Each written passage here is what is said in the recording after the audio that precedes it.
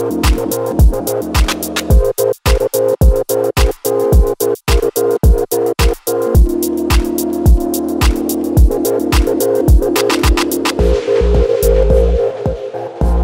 ¿qué tal? Les doy la bienvenida a Interview. Me encuentro con los actores Frida Astrid y Jero Medina. ¿Cómo están?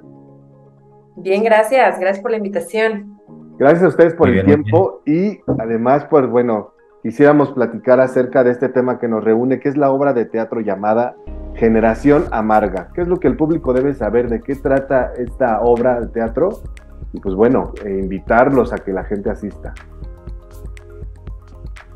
Eh, bueno, así que le doy. Eh, pues este, em, Generación Amarga, como está puesto en el título, hay que ponerlo yo creo que primero un poco de contexto eh, de en qué tiempo ocurrió, se está presentando esta, esta puesta en escena, em, porque toma lugar en los 90, 1995 para ser exactos, eh, donde existía pues varias, eh, varios problemas políticos, ¿no? como un parteaguas eh, en la sociedad mexicana, eh, resultado también de, varios años de, mucha corrupción ¿no? en, México. Y pues en estos tiempos en donde el aborto estaba siendo penalizado y la religión venía a imponerse y y está toda pues la figura femenina. También involucrada en, en, esto, eh, en las mujeres no teniendo la libertad de poder eh, hacer lo que quieren con sus cuerpos. Eh, y bueno, se, ve una serie de sueños truncados para la sociedad opuestas por, el, por la sociedad, por el sistema, ¿no? Entonces aquí en, la obra de teatro pues vemos a cuatro jóvenes que están viviendo en estos tiempos difíciles en México, donde se ven sus propios sueños pues ¿no? Completamente. Eh, y, hay como pues diferentes representaciones de estos jóvenes. Eh, está pues Víctor, que es el protagonista, eh, eh, está Elena, que es Frida Street, está Amelia, que es Ella Belén, y yo hago a Sergio. Y cada uno está en su viaje por tratar de, cambiar su vida para bien, de agarrar, tomar las riendas de su camino.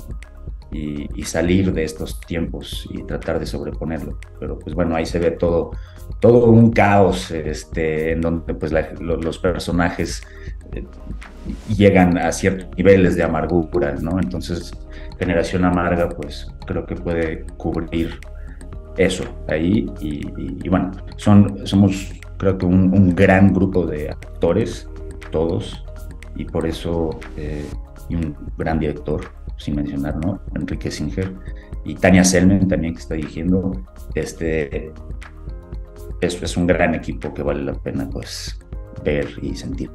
Y esto entonces, ¿cómo es que eh, impacta, me refiero al, público?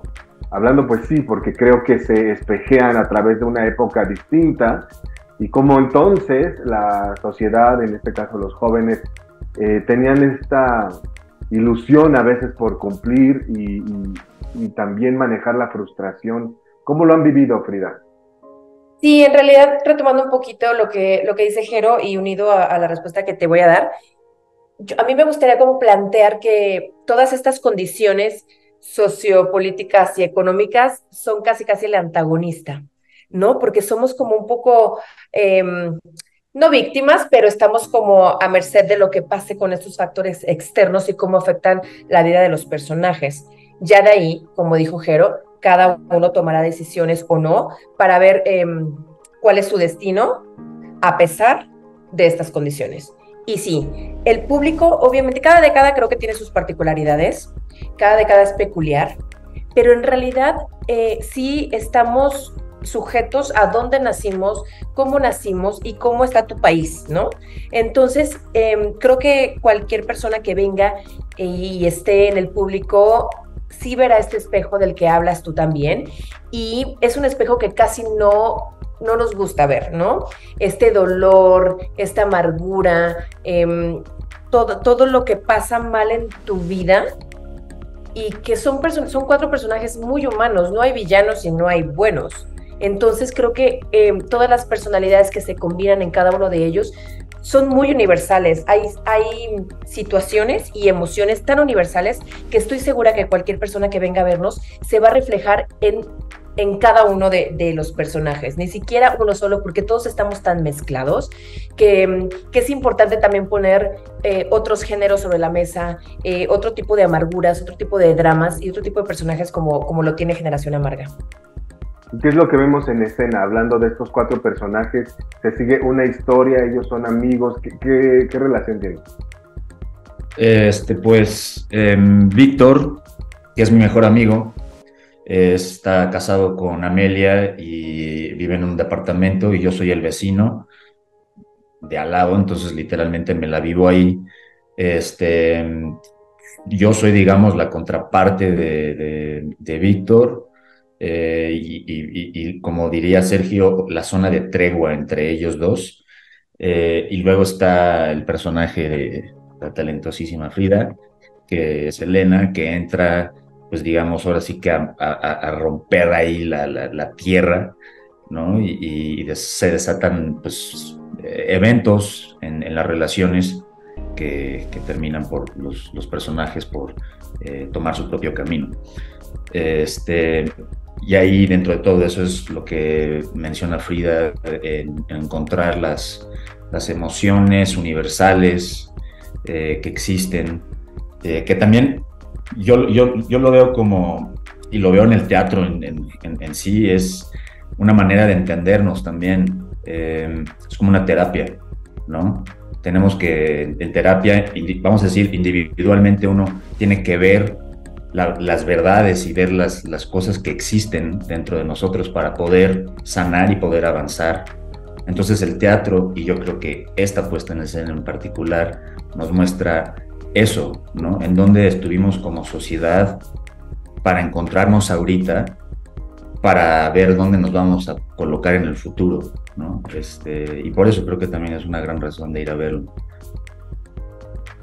Claro, y además creo hace, eh, al, ser un texto que se sitúa en los 90, hace esta, eh, este subrayar pues de cómo entonces eh, se manejaba la sociedad, cómo estaba permitido a veces, ahora que ya tanto está siendo cancelado, que ya tanto está siendo limitado, que evidentemente sí está ayudando en algún aspecto de relacionarnos, tal vez con limitando o delimitando las faltas de respeto y en otros casos, pues siendo incluso autocancelables, ¿no? O sea, como que si la gente ya, no se permite esto porque, eh, porque entonces entraría en este otro eh, eh, terreno, pues, de, de, la autocancelación o de que ya estás ofendiendo, pero ya no terminas de ser ni siquiera expresivo completamente.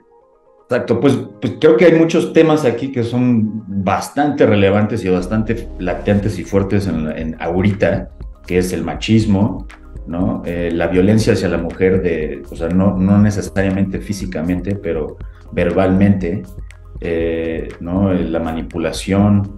Eh, entonces, creo que, es más, por eso deberíamos ir a verlo, para poder ver que qué tanto hemos sanado, qué tanto hemos cambiado ahí y qué tanto sigue igual, ¿no? Eh, porque también no fue hace mucho, fue relativamente poco dentro de todo el rango de la historia y lo que venía siendo post, perdón, pre los noventas, que era, había muchas cosas de, ¿no? Temas narcotráfico, corrupción, robo, guerrilla, ¿no? Y entonces los noventas empieza a como hacer un cambio a lo que quizás viene siendo ahorita, ¿no? Entonces, sí. Y también es súper interesante que tú, Jero, hablas de, personajes eh, femeninos y a mí también se me hace muy interesante ver cómo vemos a los personajes masculinos, cómo vivían su sensibilidad y, sus y cómo afrontan sus problemas emocionales, porque de verdad, década con década sí cambia, ¿no? En la mañana iba escuchando algo en la calle y vi, eh, escuché a un chavo que decía, es que yo sí quiero aprender a, algo que está hablando, y quiero, quiero desarrollar esa sensibilidad.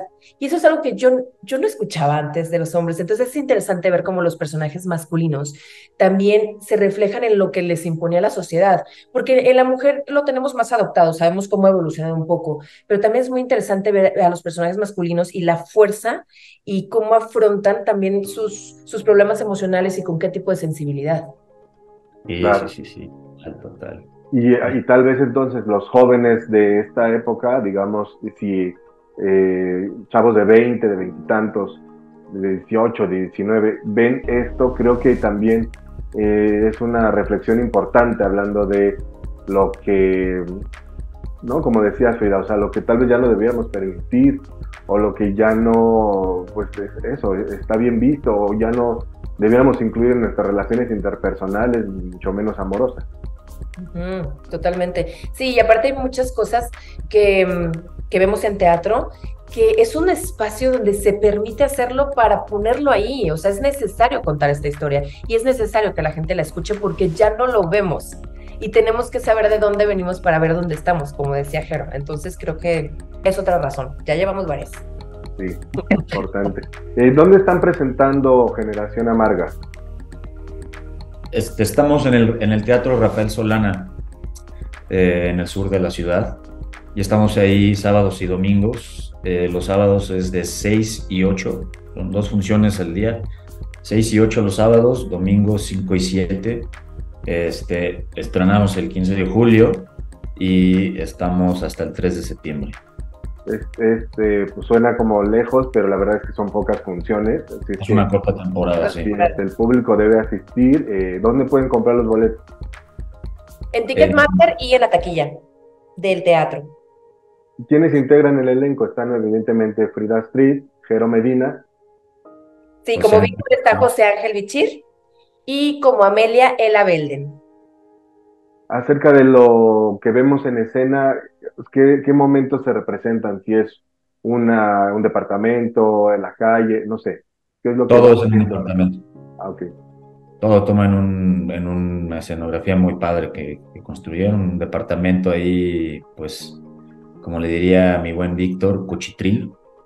Es un departamento de azotea, es importante porque ahí se desarrolla algo. Y las dos chavas las dos personajes de las chavas son de clase mm, social alta y, es, es, es, algo como, es un contraste muy padre. Y retomando un poco la escenografía, el equipo de creativos está muy fregón, la, la diseñó Félix Arroyo, que es un gran escenógrafo e iluminador, él también ilumina la obra. Entonces también estamos cobijados como actores por una atmósfera eh, creada muy realista, es una obra muy realista. Claro que sí, bueno, el nombre lleva Generación Amarga, podría también traspolarse a esta, a esta época en la que si piensan que la generación de cristal o esto, ¿no? Que si es que son muy susceptibles. La realidad es que, para que vayan y vean Generación Amarga, esto viene de mucho más atrás, o sea, con personas que tal vez em, permitían, soportaban, vivieron una situación muy distinta, mucho más agresiva, mucho más cruda, mucho más apegada a la realidad que lo que está sucediendo hoy, ¿no? O sea, creo que para los chavos de 18, 20 años eh, asistir a ver Generación Amarga sería también un, eso, como un comparativo, si no un ejemplo, un comparativo de cómo está la sociedad, si ha retrocedido, si ha avanzado, en qué aspectos. Sí, pues es saber, eh, eh, saber de dónde vienes un poco, ¿no? Todas las cosas que ahora, como siendo joven y chavo, estás empezando a ver, pues eh, es bueno entender de dónde vienen y, quizás ahí ver la, la, comparación, eh, porque de nuevo, eso nos, nos ayuda. Por eso, el, por eso el teatro es tan importante de cultivar, de mantener, de, de, proteger, eh, alimentarlo, porque es lo que nos ayuda a seguir creciendo y es lo que en la sociedad mexicana también mi amiga Frida también ha dicho muchas veces, y yo estoy totalmente de acuerdo, en México hay un gran teatro, ¿no? Somos una, una sociedad teatral y em, tenemos tantos géneros, hay gran teatro, hay mucho talento en este país, entonces pues hay que, hay que sí, hay que cultivar el teatro y, que, mejor con los jóvenes, ¿no? Eh, que además pues se pueden entender mejor. Claro. Y sepan que a veces los jueves en Ticketmaster hay dos por uno para las funciones del fin de semana. Entonces aprovechen todas las, amenidades pues, que tiene a veces eso, asistir al teatro. Quitémonos esa idea de que es, más caro que ir al cine. La realidad es que no. Hay, hay, hay ofertas, propuestas, opciones muy interesantes como es Generación Amarga y que seguramente nos van a dejar más que ir a ver coches volando. Chicos, les agradezco el tiempo. Les agradezco el tiempo y bueno, pues nos encontramos allí en Generación Amarga, en el Teatro Rafael Solana. Así es que todos, todas y todes eh, asistan y a, este llamado pues de saber qué está sucediendo en el Teatro Rafael Solana con Generación Amarga. Compartan este video para que se enteren muchas más personas que están haciendo este esfuerzo de todo este grupo, esta compañía y pues nos encontramos en la próxima. Muchas gracias chicos. Gracias a ti. Ahí te vemos en el teatro. Claro, ahí los va a saludar. Muchas gracias. Que tengan buen día. Gracias. Chao. Chao. No te pierdas la mejor información de espectáculos y entretenimiento. Suscríbete a este canal, compártelo, déjame un like y tus comentarios.